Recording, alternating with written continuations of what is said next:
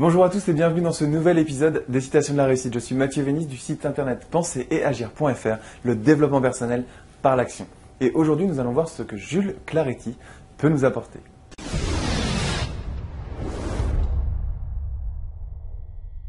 Alors Jules Claretti a dit Tout homme qui dirige, qui fait quelque chose, a contre lui ceux qui voudraient faire la même chose.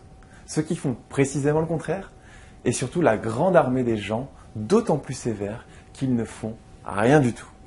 Alors la notion principale dans cette vidéo, ce que je vais vous donner comme conseil aujourd'hui, c'est comment est-ce que vous allez gérer les personnes qui vous critiquent. Parce que dès que vous allez passer à l'action sur un projet, il y aura toujours des personnes qui vont vous critiquer, qui vont essayer de vous rabaisser. C'est comme ça, la nature de l'homme est comme ça, et vous rencontrerez toujours ces problèmes-là. Alors j'ai eu à gérer ces problèmes-là, tout le monde, tous les entrepreneurs, tous les porteurs de projets, toutes les personnes qui ont envie de faire quelque chose ont à gérer constamment les critiques des personnes qui ne font pas cette chose. Alors il y a trois catégories de personnes qui vont vous critiquer.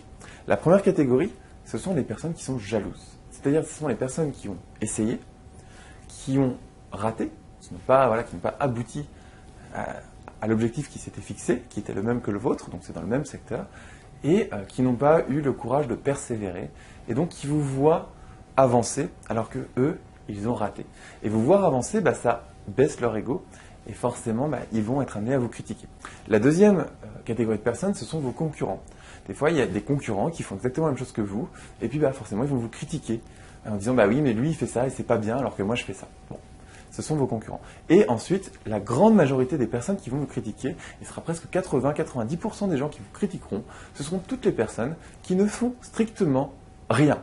et oui, c'est comme ça. Vous avez des projets, vous avez envie d'avancer, et puis il y a une armée immense de personnes qui ne fait rien, qui n'a pas envie de s'améliorer, qui passe son temps à regarder la télé, qui est en mode un petit peu euh, pilotage automatique et qui avance dans la vie eh bien, en fonction des événements extérieurs euh, qui leur arrivent, mais pas en fonction de ce qu'ils veulent vraiment faire, eux. Alors, ces trois catégories de personnes, donc les personnes qui ont essayé mais qui n'ont pas réussi là où vous, vous êtes en train de réussir, euh, vos concurrents directs qui n'ont rien d'autre à faire que de vous critiquer plutôt que de proposer d'autres solutions. Et enfin, les personnes, alors toutes les personnes qui ne font rien et qui seront toujours là pour vous critiquer et pour vous rabaisser. Alors comment est-ce que vous allez faire finalement pour filtrer ces, critiques et pour vous dire, bon, cette critique-là, c'est une critique qui va être constructive et je vais la prendre pour mon projet. Et cette critique-là, par contre, c'est euh, n'importe quoi. Ça ne fonctionne pas. Comment est-ce que vous allez faire pour gérer ces critiques? Eh bien, c'est très très simple. Vous avez donc différentes personnes qui vont venir vous parler. Déjà, essayez de les classer dans ces trois catégories. Ensuite, lorsqu'une personne vous critique, essayez de voir tout simplement si elle emploie le mot parce que. Le mot parce que, c'est le mot le plus important quand il y a une critique. Euh, si une personne arrive et vous dit de toute façon ton projet c'est nul, tu n'y arriveras pas. Ouais. Ok, mais pourquoi?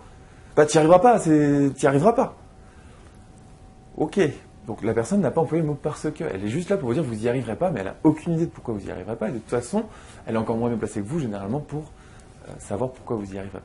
Donc si une personne vous critique, et vous verrez que ça arrive extrêmement souvent, et qu'elle n'emploie pas le mot parce que, ça veut dire que sa critique ne sert strictement à rien. Si une personne veut vous critiquer et veut vous aider, elle doit employer le mot parce que. Tu n'y arriveras pas parce que ça, ça, ça et ça. Ah, d'accord. En effet, tu vas donner des raisons. Ça, c'est intéressant, là, maintenant que tu me dis ça. Je vais pouvoir modifier mon projet en fonction de tes critiques. Et merci. Et si tu en as d'autres, fais-les. Parce que les critiques négatives ou positives, c'est toujours très enrichissant quand elles sont justifiées. Et pour qu'elles soient justifiées, il faut que la personne emploie le mot parce que. Alors, c'est très très simple, mais appliquez ça et vous allez voir que ça va bah, changer votre perception des personnes qui vous critiquent. Alors, la deuxième chose, c'est que, est-ce que la critique euh, que la personne vous fait, fait ressortir des frustrations que, à cette personne? C'est-à-dire qu'il y a des personnes qui ont fait des choses, justement, euh, dans les catégories que je vous parlais tout à l'heure, je vous parlais des jaloux, qui sont frustrés. Donc il y a des gens qui vont essayer de faire des choses et qui n'ont pas réussi. Et ils vous voient essayer de faire ces choses-là, et bah, vous êtes en train d'avancer. Alors est-ce que ces personnes, quand elles vous disent euh, oui mais tu n'y arriveras pas, ou c'est une mauvaise idée, ou il euh, ne faut pas que tu partes par là, tu vas droit dans le mur, est-ce que cette personne-là n'aurait pas auparavant finalement essayer de faire quelque chose de similaire ou qui s'approchait de ce que vous étiez en train de faire, et qu'en fait sa critique, même lui n'en a pas forcément conscience. Peut-être qu'il a envie de vous aider en vous disant mais fais attention. Mais peut-être que cette critique-là fait aussi ressortir une frustration chez cette personne, et si vous arrivez à l'identifier, eh bien vous avez gagné, cette critique finalement ne sert pas à grand-chose. Vous pouvez utiliser l'expérience de la personne pour avancer, mais Si ça fait juste ressortir une frustration, c'est pas très très intéressant. Enfin, troisièmement, qui est le pendant justement de, du point qu'on vient de voir juste avant, c'est est-ce que cette critique est constructive? Est-ce que la personne qui vous fait la critique emploie le mot parce que Est-ce qu'elle vous donne des axes d'amélioration? Parce que si la personne vous dit que c'est nul, que votre projet est nul parce que c'est nul, bon bah là, le mot parce que ça sert plus à grand chose parce que ça sert à rien de toute façon. La personne vous dit que c'est nul parce que c'est nul. Ok, mais et donne-moi des, axes d'amélioration si c'est nul. Si, si tu as pris le temps de me dire que mon projet n'était pas intéressant, dis-moi au moins comment l'améliorer, sinon ça sert à rien. Donc voilà, c'est fini pour cet épisode. Je vais vous redonner la citation de Carletti qui est très très intéressante. Tout homme qui dirige, qui fait quelque chose, a contre lui tous ceux qui voudraient faire la même chose. Ceux qui font précisément le contraire, et surtout la grande armée des gens d'autant plus sévères qu'ils ne font rien du tout. Donc apprenez à filtrer les critiques négatives qui vous arrivent dans la tête tout le temps, tous les jours, parce que dans ces gens-là, il y a les gens qui voudraient faire la même chose, les gens qui sont frustrés, les gens qui n'agissent pas. Et essayez de voir si quand ils vous critiquent, ils emploient le mot parce que.